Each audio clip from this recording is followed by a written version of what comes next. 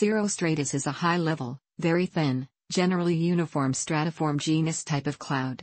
It is made out of ice crystals, which are pieces of frozen water. It is difficult to detect and it can make halos. These are made when the cloud takes the form of thin cirrostratus nebulosus.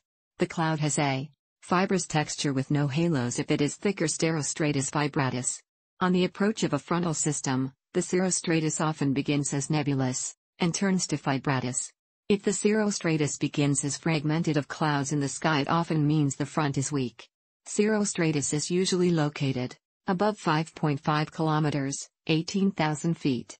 Its presence indicates a large amount of moisture in the upper troposphere. Clouds resembling cirrostratus occasionally form in polar regions of the lower stratosphere.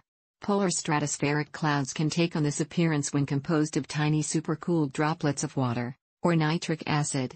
Cirrostratus clouds sometimes signal the approach of a warm front if they form after cirrus and spread from one area across the sky.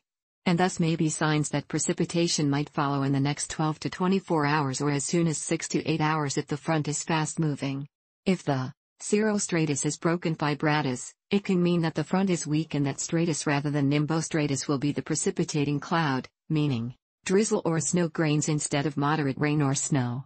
Cumulus-humilis or stratocumulus clouds are often found below cirrostratus formations, due to the stable air associated with cirrostratus creating an inversion and restricting convection, causing cumuliform clouds to become flattened. Contrails also tend to spread out and can be visible for up to an hour in cirrostratus.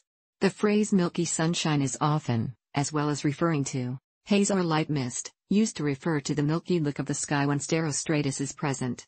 Species Cirrostratus fibratus, Cs fib, is a high fibrous sheet similar to cirrus but with less detached semi-merge filaments. It is reported in the SYNOP code as CH8 or as CH5 or 6, depending on the amount of sky covered, if increasing in amount. If the high cloud covers the entire sky and takes on the form of a featureless veil, it is classified as cirrostratus of the species nebulosus, Cs neb, and is coded CH7. Varieties, Cirrostratus species have no opacity-based varieties as they are always translucent. Two pattern-based varieties are sometimes seen with the species fibratus. These are the closely spaced duplicatus and wavy undulatus, types similar to those seen with Cirrus fibratus. Pattern-based varieties are not commonly associated with the species nebulosus due to its lack of features. Supplementary features, Cirrostratus produces no precipitation or virga and is not accompanied by any accessory clouds. Genitus mother.